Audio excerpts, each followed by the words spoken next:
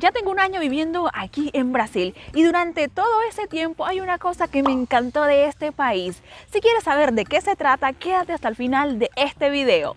Hola, ¿cómo están amigos? Yo soy Maribella y sean bienvenidos a este su canal favorito de entretenimiento e información.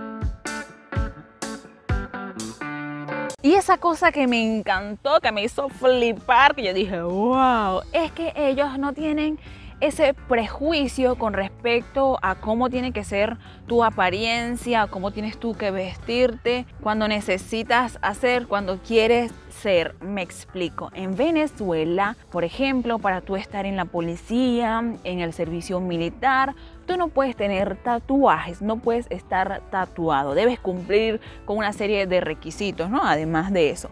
Pero aquí en Brasil tú puedes ser parte de la policía así tengas un tatuaje. Obviamente estaba viendo que no pueden ser tatuajes eh, que inciten a la violencia, ese tipo de cosas. Depende también mucho del tipo de tatuaje que tengas. Pero en general sí puedes tú entrar a la policía así tengas tu tatuaje. Cuando a mí me dijeron eso y que los policías podían tener tatuajes aquí en Brasil, yo decía no esto me están mamando gallo, esto no es en serio. Pero indagando me di cuenta de que sí, de que es real. Y también vi este fenómeno de que ellos no se dan como que mala vida en ese aspecto en el colegio donde está estudiando la hija de mis padrinos. Allí este, ellos venden unas camisitas donde si tú la puedes comprar y puedes ir con esa camisa, bien. Si tú no tienes para comprar esa camisa, no importa tus hijos pueden ir con otra ropita siempre y cuando sea decente. Por ejemplo, estaba viendo que habían madres que mandaban a las niñas con faldas, entonces la maestra como que no, no la manden con falda.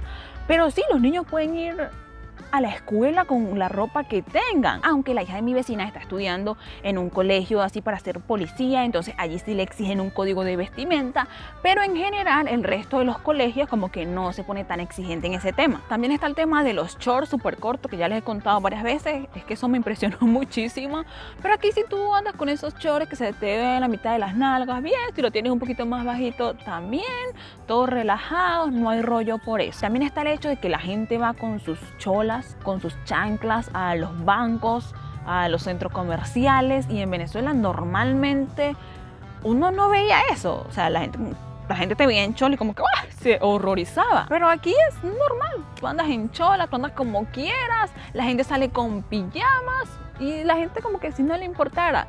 Pero en Venezuela como que, ¡Ah! Dios mío, ¿cómo se le ocurre salir así? Pero sí, de verdad que eso fue lo que me encantó de Brasil. Qué genial esto. Nunca cambien, porfis.